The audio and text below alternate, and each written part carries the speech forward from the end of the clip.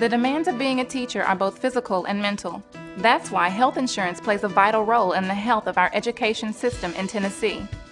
TEA is working to raise awareness to increase teachers' health benefits so the state pays 80% of an educator's health insurance premium.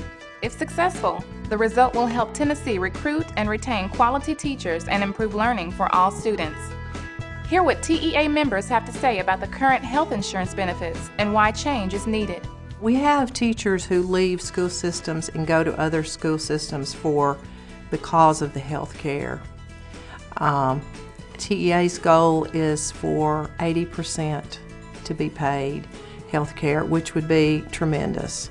From my perspective, it's important because you always need to plan for the future. You can't just expect everything to fall in place. Teachers are paying uh, 55% of their insurance premium.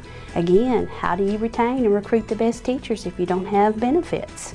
And that impacts our students. We want the best. They're going out of state because of the benefit package. Well, the bottom line is salaries have basically remained the same. Inflation has gone up. Healthcare has increased at the national level, at the state level, and at the local level.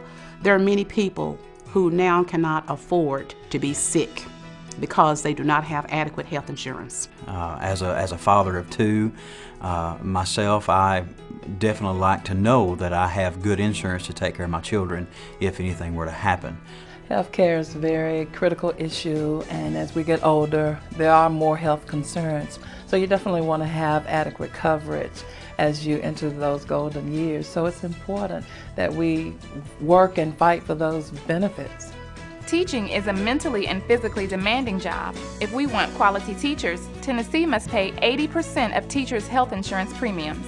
The Tennessee Education Association, educating our children, engaging our parents, empowering our schools.